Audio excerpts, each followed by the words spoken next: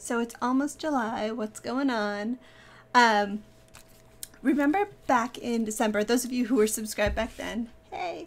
Um, remember back in December when I like didn't get a chance to set up my January 2018 Bujo until like fe- mid February. Um, is that right? It was definitely February. Um, basically, first trimester hit me really hard, um, and I wasn't like feeling up to doing it all. Um, and then it kind of ended up at a point where I didn't have like the time to sit down and set it up or the inclination to. And plus i was just i was i made a hard reset. It worked out. Um, i kind of hard reset my whole system.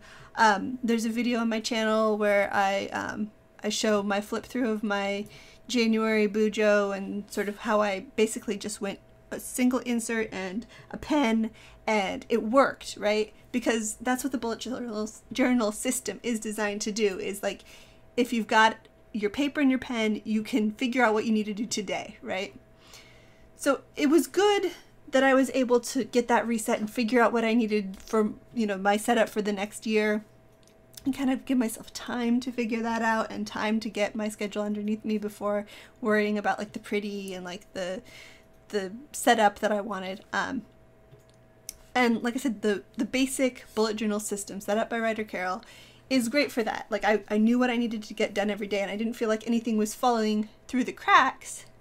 But at the same time, when I had my system for February and onward set up where I had the pages where I wanted them, where I had like different inserts for different purposes, um, and everything was, you know, a little bit decorated to the point where it was nice to look at. Um, I feel like I'm able to get more than just today done. I feel like I'm able to look ahead, plan for projects, and just sort of set goals and work for a larger future kind of focus um, that I can't really when I was in just the day to day survival mode that I was in January.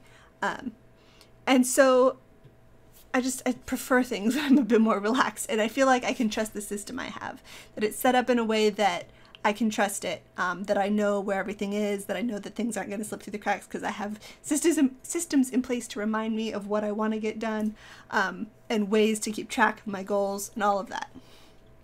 So, uh, as you're watching this, this is like almost my due date. I don't even know because I'm filming this in advance. Um, maybe I have a baby by now. So, I really wanted to make sure that with life getting crazy again, um, in even more of a wonderful way, but unexpected way. Um, I don't want a repeat of what happened in January where I felt like I couldn't trust my planner system, that it was just sort of crumbling. I needed to just keep on top of day to day.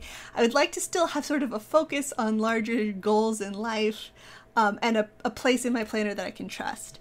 So I've been focusing really hard on my setup for J- uh, July and on. And actually, I've been using this since May, really. I started using it a bit in April, but in earnest, I've been using just this in May. Um, and so this is the system that you're going to be seeing me set up for the next few weeks um, of my maternity leave. And the goals that I had for this basically three things. I wanted all of my videos set up and uploaded ahead of time so that you guys wouldn't be missing out on videos while I am focusing on learning how to be a mom. Um, so if you're seeing this, that means that I probably achieved my goal and you're to have stuff to see at least twice a week. My Sims videos on Tuesday and my planner videos on Thursdays. I explained all of that in last Sunday's video, so you'll have seen what my plans are for when you'll actually get to see content from me. Um, second thing is pre-printed dailies. The bullet journal system where you write out your day every single day, that's great. But I didn't want to have even that amount of setup. I kind of feel like um, when life is crazy, I want to have a place that's like a day, uh, a page per day setup that's pre-printed, and that I can just know what's going to be there and can trust that it's going to be there and I won't have to worry about it. Um, so that is what I've got in here. And then the third thing is I wanted a place, uh, sort of like a communal chores list for um, things that I want to get done that I don't want to forget about, things that um, my husband can help around the house when I'm maybe you know strapped to a nursing baby, or things that um, family and friends, if they show up and they want to make themselves useful, I can have a place, a page in my planner where I can say, here's a list of things you can do. Thank you.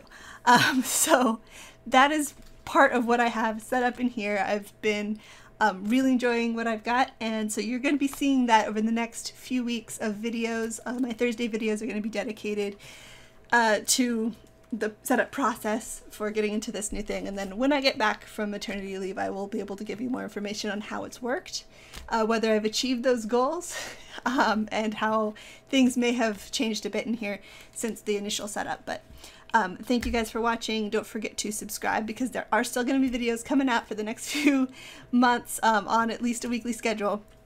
So I will see you guys in the next one, hopefully on Sunday. But again, like I mentioned in last Sunday's video, I, I'm not going to guarantee any Sunday videos. But um, yeah, I will see you guys when I see you.